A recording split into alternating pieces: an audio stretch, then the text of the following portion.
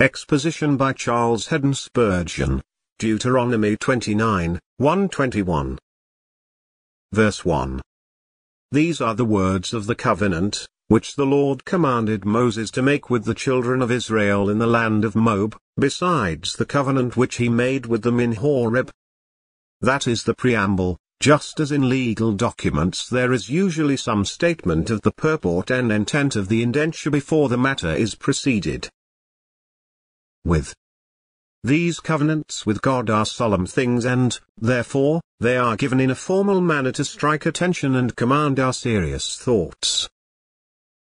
2-4 And Moses called unto all Israel and said unto them, You have seen all that the Lord did before your eyes in the land of Egypt unto Pharaoh, and unto all his servants, and unto all his land, the great trials which your eyes have seen, the signs, and those great miracles, yet the Lord has not given you an heart to perceive, and eyes to see, and ears to hear, unto this day. You saw all that and yet did not see it, you saw the external work, but the internal lesson you did not perceive.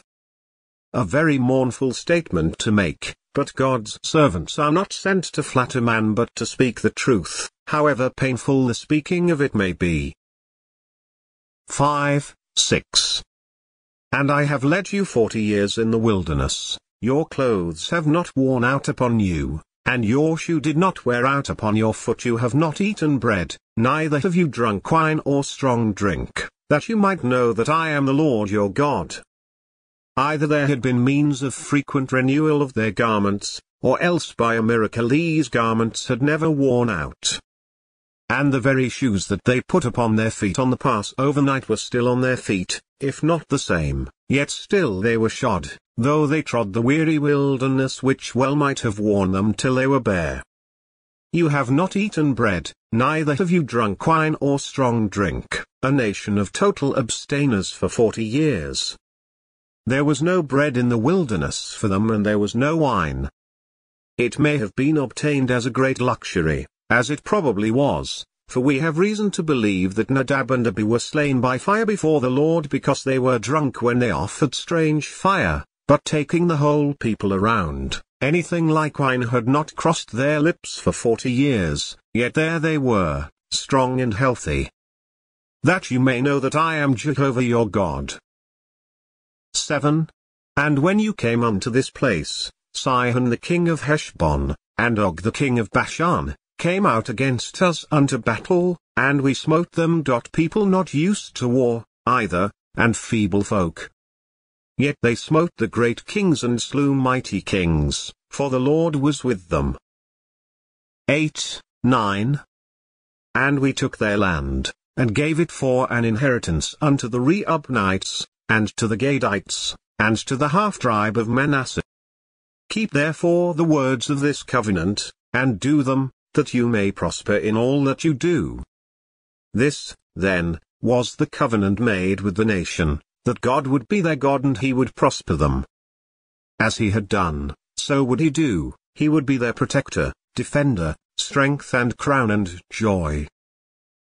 10, 11. You stand this day, all of you, before the Lord your God, your captains of your tribes, your elders, and your officers, with all the men of Israel, your little ones, your wives, and your stranger that is in your camp, from the hewer of your wood unto the drawer of your water. This national covenant embraced all the great men, the captains, the wise men, all that were in authority, your elders, and your officers.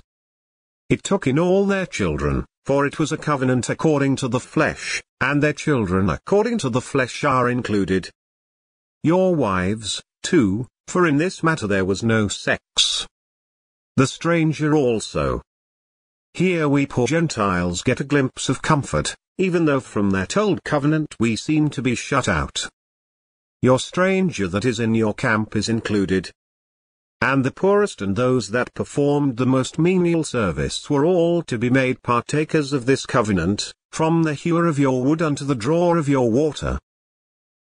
1215 that you should enter into covenant with the Lord your God, and into his oath, which the Lord your God makes with you this day, that he may establish you today for a people unto himself, and that he may be unto you a God, as he has said unto you, and as he has sworn unto your fathers, to Abraham, to Isaac and to Jacob.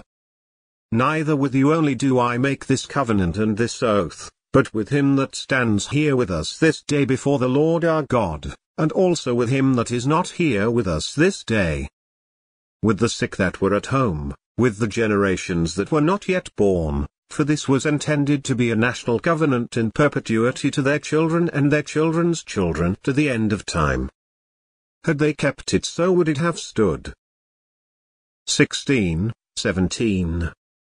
For you know how we have dwelt in the land of Egypt and how we came through the nations which you passed by, and you have seen their abominations, and their idols, wood and stone, silver and gold, which were among them, now you have seen how they worshipped idols. You have seen what you must avoid, you have beheld their folly that you may escape from it. 18. Lest there should be among you man, or woman, or family, or tribe, whose heart turns away this day from the Lord our God, to go and serve the gods of these nations, lest there should be among you a root that bears gall and wormwood, for the worship of false gods is the cause of untold mischief and evil, wherever it is found it is a root that bears gall and wormwood, and God would not have it in a single individual, man nor woman, no, not in a single family or tribe. 19. And so it may not happen, when he hears the words of this curse, that he blesses himself in his heart, saying, I shall have peace, though I walk in the imagination of my heart to add drunkenness to thirst.